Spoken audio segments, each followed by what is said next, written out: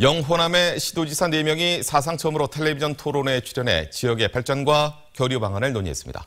특히 수도권 비대화의 문제점에 대한 인식을 같이 하고 영호남의 교류에 적극적으로 나서기로 했습니다. 이재원 기자입니다. 영호남의 지역 MBC가 공동 기획한 희망 대토론. 4명의 영호남 시도지사가 사상 처음으로 방송 토론회에서 자리를 함께 했습니다.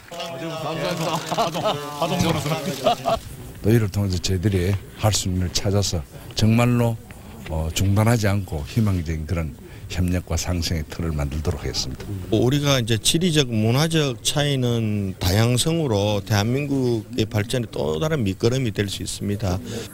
시작 전 5월 묘역을 공동으로 참배하면서 상생의 결의를 다진 단체장들은 실질적인 내용으로 토론을 이끌어 나갔습니다.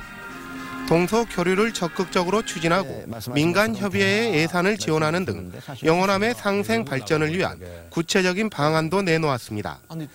특히 영남과 호남이 수도권의 비대화와 부작용을 공유할 수 있던 자리였습니다.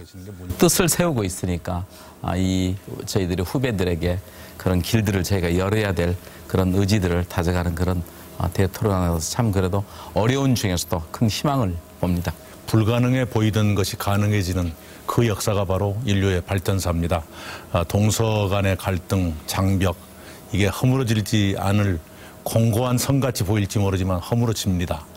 사상 최초로 손을 맞잡고 5월 영령 앞에 상생과 통합을 다짐한 4명의 단체장. 영 호남의 시도 지사들이 내놓는 동서 교류와 지역 발전 방안은 오는 일요일 오전에 방송됩니다. MBC 뉴스 이재원입니다.